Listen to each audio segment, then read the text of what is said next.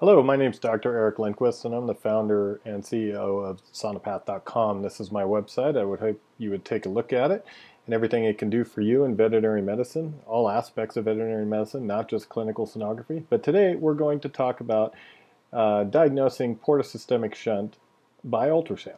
And uh, diagnosing portosystemic shunt by ultrasound has traditionally been found to be a difficult issue, but uh, on the other hand, I would say that it's really not that difficult as long as you can get into the portal hilus and see what you need to see. And structures that get in the way are the transverse and ascending colon primarily. And of course, uh, if you don't spread out the pressure on the uh, scanning hand, then what happens is the patient doesn't want you in there. It ends up being uncomfortable for them. So if you can work with the patient and displace the ascending and, uh, and transverse colon, then you can get the images that you need. So uh, to look at a normal animal in the portal hepatis, we should see a 1 to 1 to 1 ratio with the portal vein, vena cava, and aorta. And you need to work at it to get this image as much as you can, or at least get the portal vein with the vena cava and the vena cava to the aorta, so you can compare the three. Again, they're supposed to have roughly a 1 to 1 to 1 ratio, or more exactly based on the research, 0.85 to 1 should be a normal ratio between the portal vein and the vena cava, or the portal vein and the aorta. If you have a big vena cava here, something is happening that is causing excessive flow, or the animal's sedated and, or getting a lot of fluid therapy or something else to cause the dilation of the vena cava. But in a normal volemic animal that is not sedated, we should have a 1 to 1 to 1 ratio, portal vein to vena cava to aorta. And if we look at a video of that, we can see portal vein coming in, vena cava, and this little tubular structure above on the screen or ventral in the animal um, that does not pick up color flow is the common bile duct. So there are basically three tubes here. Common bile duct that doesn't pick up color, portal vein and vena cava that do. The aorta is down here to where you can't be seen. Now, in this patient that I was scanning, it was a three-year-old cat, or two and a half year old cat that was not doing right he had uh, um, he was lethargic, anorexic, and bile acids of 150 on a pre and 230, 240 on a post. And so we needed to differentiate diffuse liver disease from uh, the presence of portosystemic shunting. Now, regarding extrahepatic shunts, this scheme works. Intrahepatic shunts, it doesn't. Intrahepatic shunts, are, you're going to have the same ratio because the shunt is over here. It's cranial. So the portal vein vena cava aortic ratio will be 1 to 1 to 1. But in a in an extrahepatic portosystemic shunt that involves the vena cava, which are most of the shunts, the vena cava becomes large. It becomes larger than the aorta. In fact, it's a 1.5 to 1 ratio now because the aorta is 0.5 centimeters and the vena cava in this position is 0.73. Now you can compress the vena cava with manual compression and sort of alter that ratio. So you really have to let, let up and, and let that vena cava dilate to as much as it's going to dilate.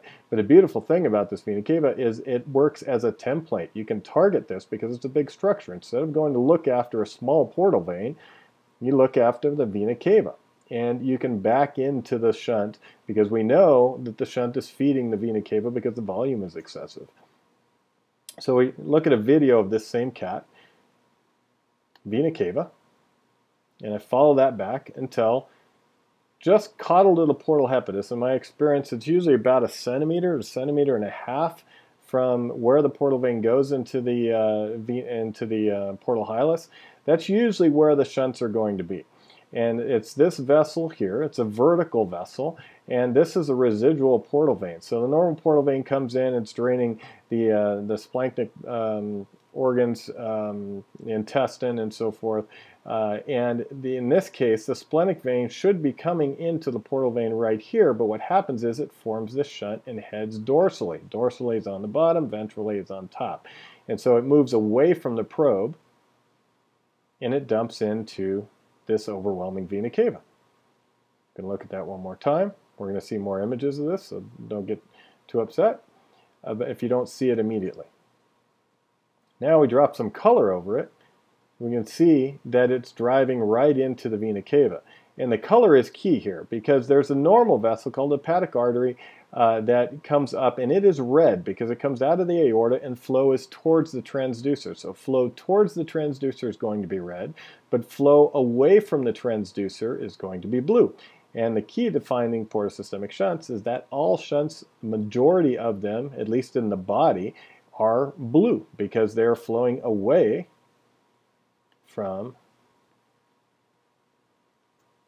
the flow, just like this. You can see this is a still where portal vein here, normal portal vein, meets with a splenic vein and shunts away. And then you have the residual portal vein here because blue is away, so we know it's going away from the transducer. And it dumps in the vena cava, which comes in right here. We can see that without color again.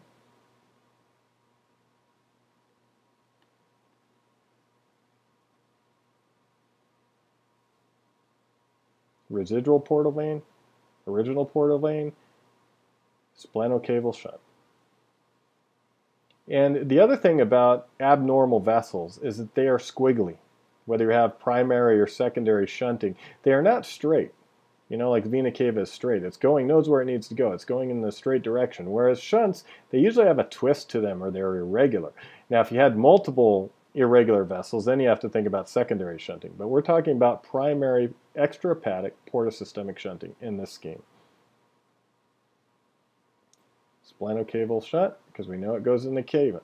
Starts where the splenic vein enters into the portal vein and goes into the cava. The other type of shunt that happens less frequently is called a gastrocaval. Comes off the left gastric vein, which um, makes this big looping uh, contour and dumps into the vena cava. But this is the most common type of shunt out there is the splenocaval shunt. And you can see it's only about a centimeter in length. So you can see how easy, uh, less than a half inch. So you can see how easy it is to miss. And, and it sits right where the ascending and transverse colon are. So that is where it is difficult to find on ultrasound because the colon's always in the way or the patient doesn't want you in there.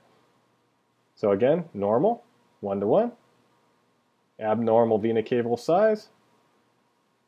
Follow the vena cava back until you have a vessel that comes in that's not supposed to be there. Drop the color over it. It's going to be blue, or at least majority of it's blue until it hits the mosaic pattern because of the turbulence. And you can confirm it that way. And of course, clinical signs typically go along with it. And this is a case that was referred to surgery. Unfortunately, he had severe heart disease, so it wasn't going. It was only going to be treated medically. But you can also measure out the width, the maximum width of this shunt, and in this case, it's 0.9 centimeters. And this is crucial information for the surgeon, so he knows what size ameroid, constrictor, or cellophane band to use. So that's how you diagnose a portosystemic shunt, an extrahepatic portosystemic shunt, that is, on ultrasound. And if you'd like to see anything regarding ultrasound or internal medicine, I invite you to come to SonoPath.com and take a look at the clinical search tutorial or our community forum tutorial where you can post images and videos. And this was a recent post where you can look at different posts regarding ultrasound education or business or just about anything that you want. But the key thing is, if you want to learn about shunts or basically any pathology at all, just type it into the pathology search and search it out and see what comes up. There are tons of cases in there just like the one we looked at today that will help you diagnose a portosystemic shunt on ultrasound or clinically because all the clinical information is there. You don't have to do ultrasound to get great benefits out of this website. And all of the video runs in line. You don't have to wait for download time or third parties. It's all within the site. So I hope you take a look, and thanks for joining me today regarding ultrasound diagnosis of extrahepatic portosystemic shunts. Have a great day.